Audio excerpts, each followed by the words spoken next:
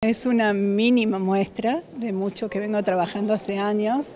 Eh, la titulé Retazos de Río porque está hecha sobre retazos de tela, eh, casi al azar. Eh, mi propuesta de hace varios años es a partir de venir al taller de grabado, porque esa es la técnica que mayormente utilicé en esta muestra, es presentar cosas que suceden en nuestro río Chocancharaba.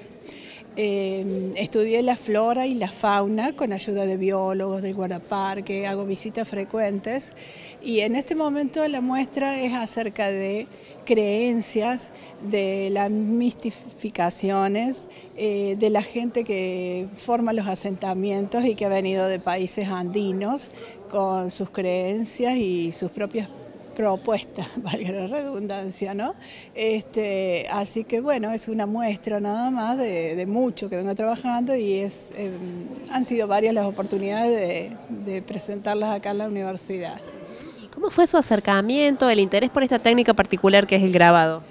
Bueno, yo hace mucho estuve trabajando en la universidad muchos años, yo soy licenciada en química y no veía la hora de terminar, pero porque me gustaba realmente la investigación y la docencia, pero quería hacer arte, que era como una asignatura pendiente.